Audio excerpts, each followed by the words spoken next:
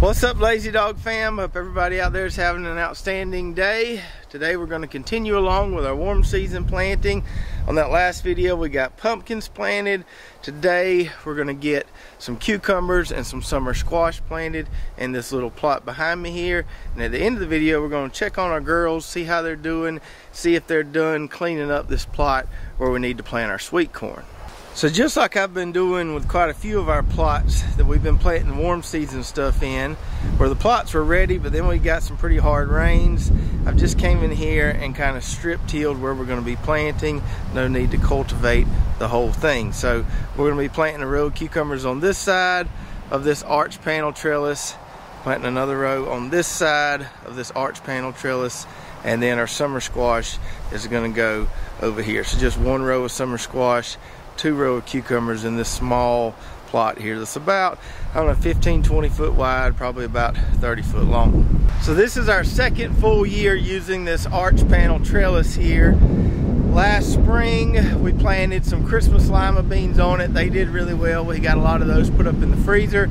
And in the fall, we planted some English peas on this. Of course, they didn't get that tall. They didn't climb all over it like those lima beans did.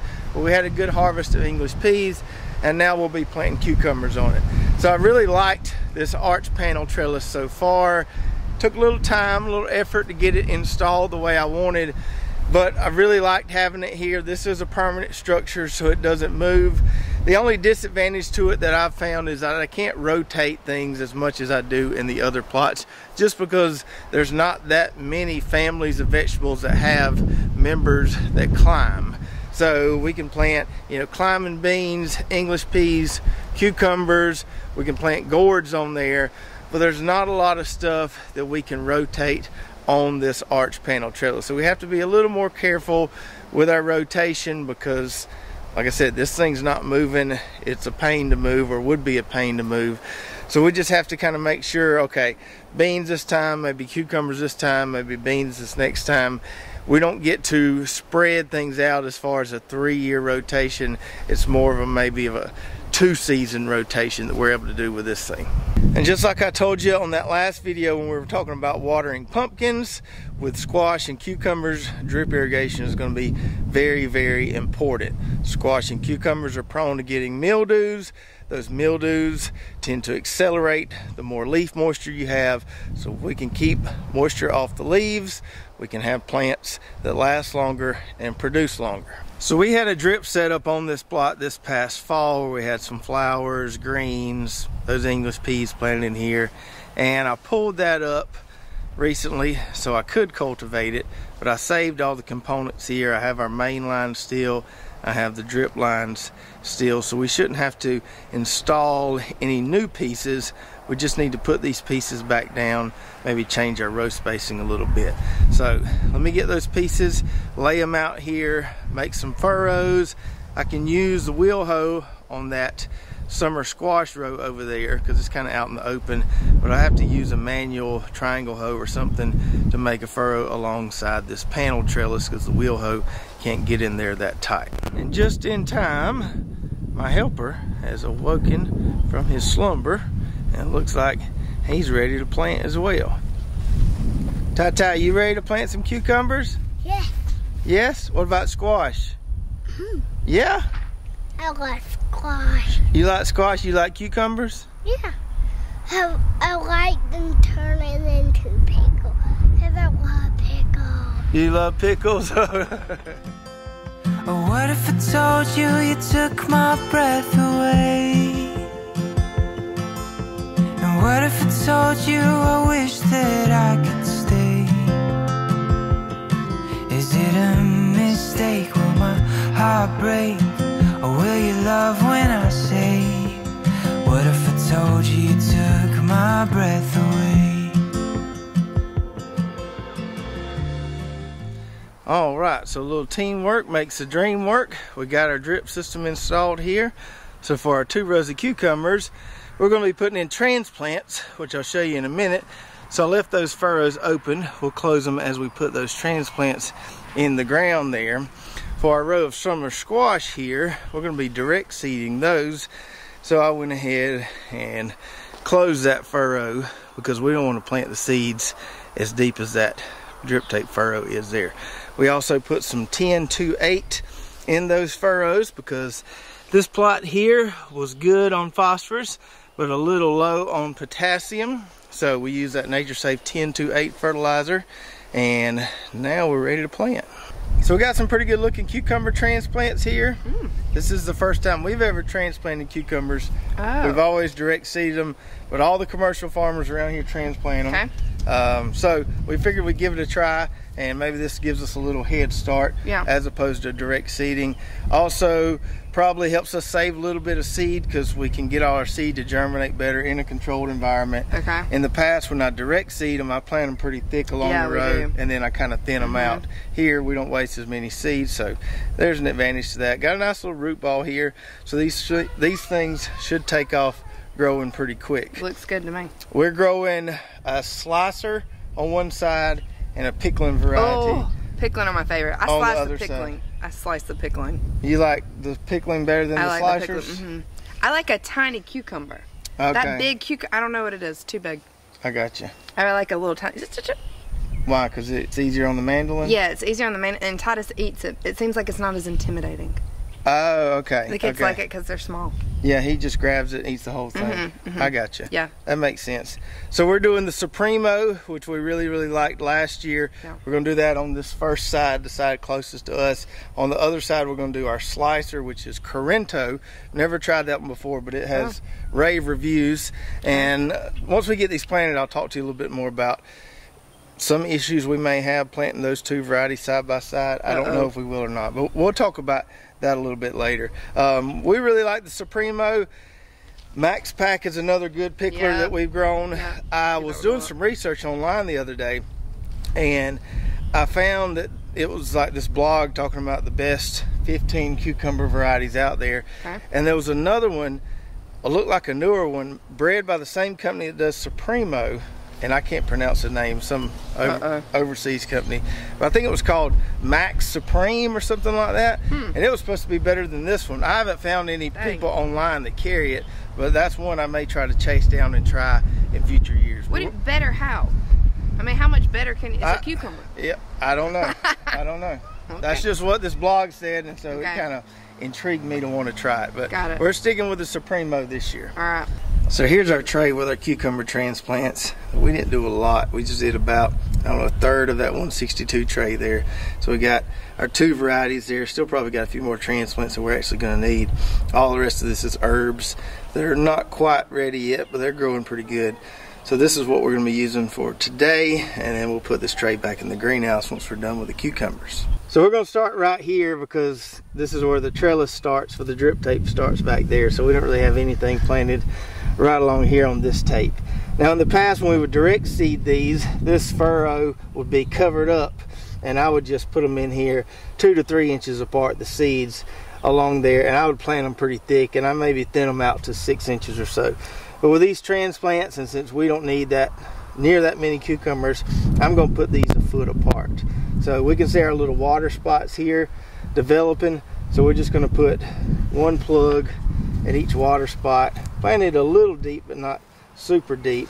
And then as we go along there, we'll cover up that tape. So there's another water spot right there, darling. That doesn't seem quite 12 inches apart. It is. It is, okay. Wait, am I doing it right on top? Yeah, yeah. Put it in there and then cover it up. There you okay. go.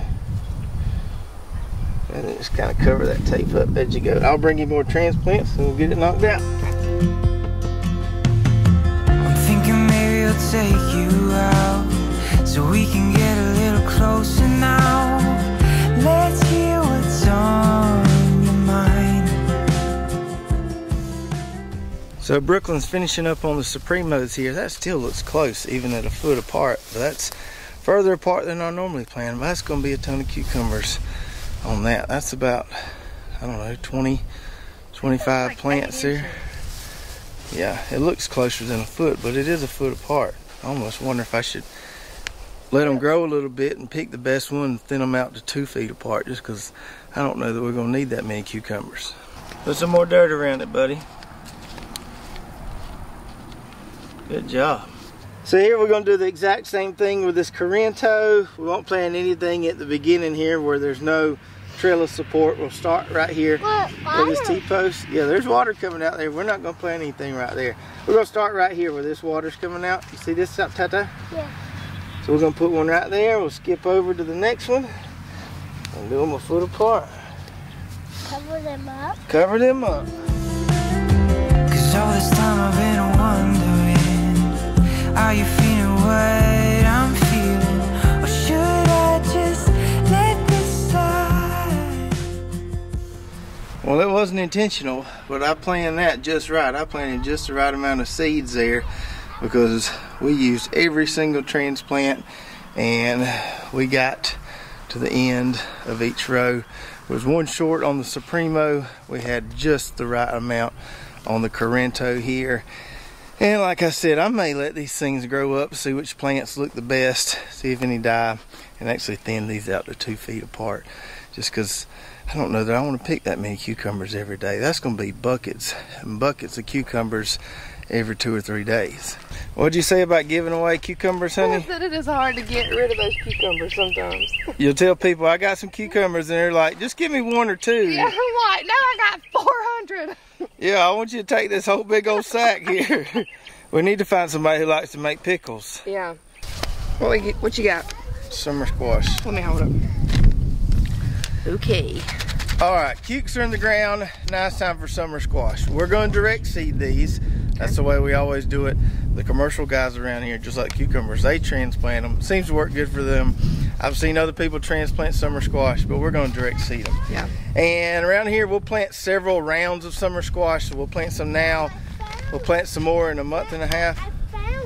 Uh-oh. I, I, I found Chloe's daddy. Oh, You found you, Chloe's daddy? Okay, thank you. We keep having random cats show up, and um, Titus just swears Titus up is- and down. He's, he's putting together Yeah. the family tree. Just, anyway, so we succession plant. we succession plant. We usually plant different varieties with the succession planting. Mm-hmm. So this first planting, these squash won't have near the insect and disease pressure as the second planting will Right. because the heat will be a lot more for the second planting. Right. So if there are varieties that are less disease tolerant that we want to grow, now's the time for us to grow them.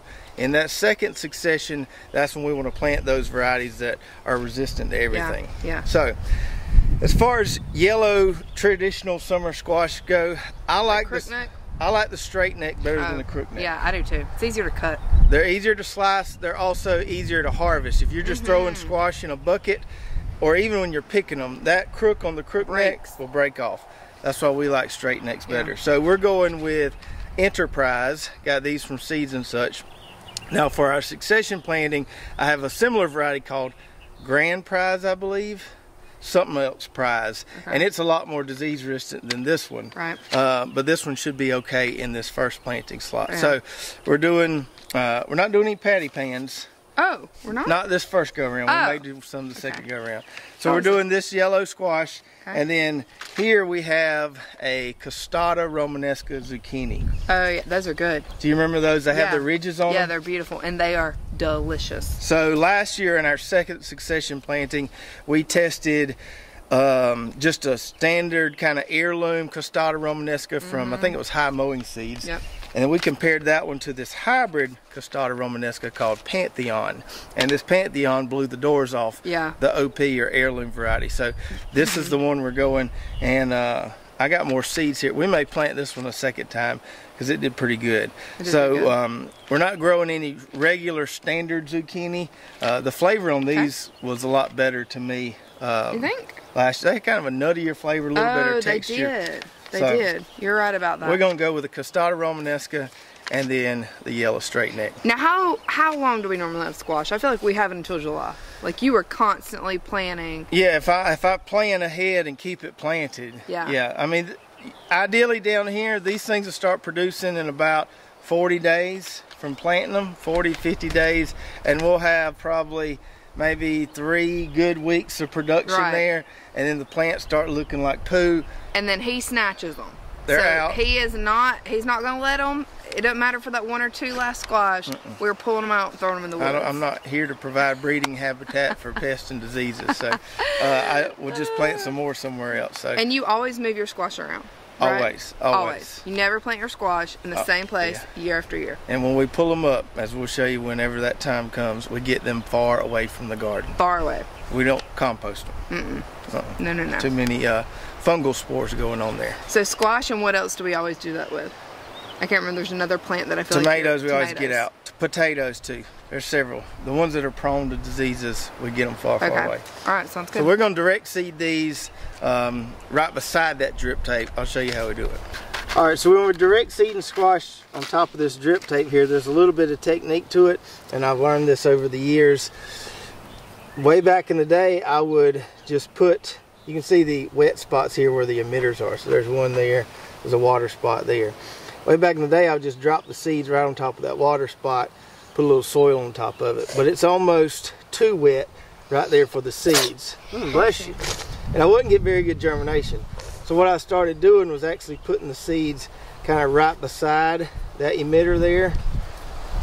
And since we got plenty of seeds, we'll make sure we get a good stand here. I'll put two seeds right there like that, and then we'll just lightly cover them up and kind of pack them in. So we plant right on top of that, it doesn't always work really well, so we plant right to the side of it. Still gets plenty of water for good germination. Okay, so we got room here for these things to kind of spread out both ways. So I'm going to plant them kind of close along the row. We're going to plant them two feet apart.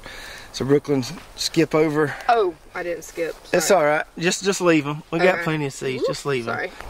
Oh, that's the bad guy. Go give that to the chickens, Tata. Go give it to the chickens quick. They'll love it. Go give it to the chickens. Hurry. Right here, Tata. Okay, here, Titus. Cover it up. Wet, wet. That's good. Thank you. And that'll work out good because we're about halfway down the road anyway. So we'll do uh, Pantheon on the rest of the row. Remember one, not together. We got to separate them. Okay, now cover them up. No. Not with that side. Cover them up with this side. He wants to get in that mud. Okay. Look. Look. Look. Okay, thank you. Ah! That is. Look, look, look. All right, so some more warm season planting checked off the list. We still got watermelons to do. That'll probably be next.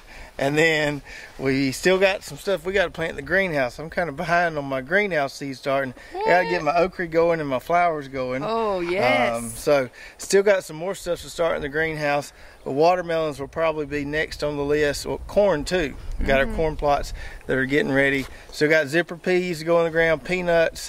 So I would say we're probably about halfway through. You're to try peanuts again? We're gonna try peanuts again. Oh, we'll see if we get them germinated or not. I got a rascal right here. All right, they got to head out. But now we're going to talk about maybe some issues we have planting these two cucumber varieties side by side. So as far as cucumbers go, besides just the pickling and slicing variants, we have several different types. So you've got your open pollinated or more heirloom cucumber varieties, things like national pickling, where if they are isolated and not planted with any other varieties, so that there's no cross pollination happening, you can save the seeds and replant those. Then you've got your hybrids, like the Supremo we planted here, which have more disease resistance built in, and that really benefits us down here. I've never had that much success growing open pollinated or heirloom cucumber varieties. They'll produce a few, but nothing like these hybrids with the disease resistance will. And then you have the gynoecious types. Gyno meaning female, so gynoecious cucumbers mean that they produce predominantly female flowers and as a result are more productive. Now we've grown several gynoecious varieties in the past. We like Diomede, which is a gynoecious slicer. Stonewall is another gynoecious slicer. And then as far as the pickling varieties go, Calypso is a really good gynoecious pickling variety. Now the Supremo we planted here is not gynoecious, but I've found that it's just as productive, if not more productive than Calypso, even though Calypso produces mostly female flowers. And I think that has to do with the disease package. We just get more longevity out of these Supremo plants than we would those Calypso plants. So all of those, the open pollinated, the hybrid, the gynoecious, and even the gynoecious hybrids require pollinators. You got to have some type of insect that's going to transfer that pollen from the male flower to the female flower to get your fruit. But the fourth type doesn't require a pollinator, and that is the parthenocarpic cucumbers. Now these parthenocarpic types are usually grown inside greenhouses because they need isolation and they're pretty desirable on the market because they don't really have any seeds in them and a lot of people don't like cucumber seeds from what I understand. Sometimes cucumber seeds make people burp. I've never had that happen but I understand it can be a problem for some people so this Corinto slicing variety we planted is parthenocarpic and gynoecious, which means it's supposed to be super, super productive. However, I have read that you got to be really careful planting parthenocarpic cucumbers next to another kind of cucumber. They're really supposed to be isolated from any other variety. So we might have some problems here. I don't know. We shall see. The few articles I read said that planting parthenocarpic cucumbers with other varieties nearby can cause the parthenic cucumbers to have seeds, whereas they normally wouldn't have seeds. That's not a big deal for me. I'm not, you know, against cucumber seeds by any means. But I also read that it can cause the fruit to be, you know, misshapen, which might be a little bit of an issue. So we'll see what happens here. We're going to have plenty of cucumbers to eat either way. I'm not worried about that. But we'll see if the Corinto variety suffers as far as the appearance of them from being planted this close to the Supremo. And now, as promised, let's check on the girls here. So the girls are way down there on the end of this plot and this is their last day on this cover crop here. They have done their job. They have mowed it down really nicely. So this is the first lane they were on. You can see that clover, that Balanza clover has grown back really well. This was the second lane they were on and the third lane right here. So hopefully we got some nice fertilizer addition here so we can plant our sweet corn now. So as I told you on that video, when we moved the chickens over here to this plot, this did push back my sweet corn planting a little bit, not by a whole lot. Ideally, I would plant sweet corn probably middle of March or so. Today, it's the 27th of March. By the time I get this cover crop incorporated, let it break down a little bit, it'll probably be the first week of April. So it pushes back about two to three weeks, but not a big deal. We'll still get a nice sweet corn crop off this plot here. Now they like to talk to me this time in the afternoon because they know it's time to be moved, to be put on something else to eat. But I don't have any more delicious cover crops for them to eat because all our plots are being planted or have been planted currently. So we're just gonna have to bump them around in the yard for a little bit until we get some cover crops planted for them to eat again. And with them being just on grass that gets mowed every week, I'm probably gonna have to start back giving them some layer pellets the centipede grass and Bermuda grass in our yard is not near as nutritious as some of these clover and these other cover crops that we're planting here.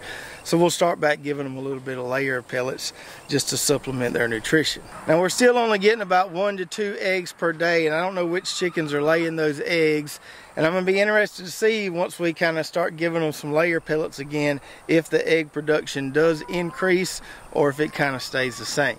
But for all the chicken experts out there that said that these cover crops weren't giving them enough calcium and the eggs were going to be brittle, that has not been the case at all. The eggs we've been getting have nice strong shells on them and that's because this clover has more calcium than the actual layer feed does. So having them on this cover crop is ideal. That's where we want to have them. It just didn't work out quite as planned. We don't have any spot for them to go on right now. As soon as our onions are done, we're going to plant a cover crop in that plot and then we'll start letting them graze some more of these nutritious cover crops again. So let's go ahead and move them off this plot here and onto the grass because probably when we're done with this video, I'm going to go ahead and mow and till this up one time. That way we can get our corn planted as soon as possible. Is it a mistake? Will my heart break? Or will you love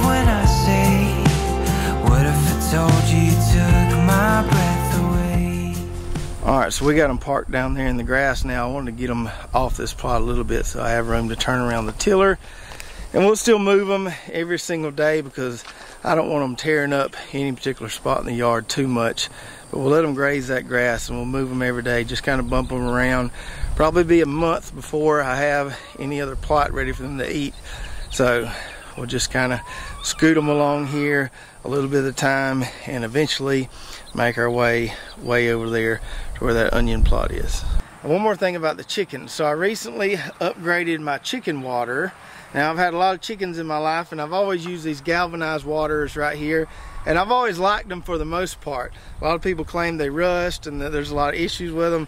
I've never really had any issues with them and they always last a long, long time for me. However, I recently started noticing that this thing would get empty a lot quicker than it should be getting empty. And on days where it was really hot, seemed like I had to replace the water or fill it back up with water every day. And I think it's because this metal gets so hot that there was a lot of evaporation going on there.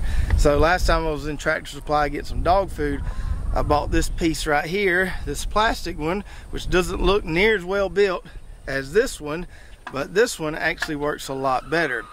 The plastic doesn't seem to cause the water in here to get as hot and evaporate as much. Also, this one has kind of a deeper well on it, and so the water stays in there good.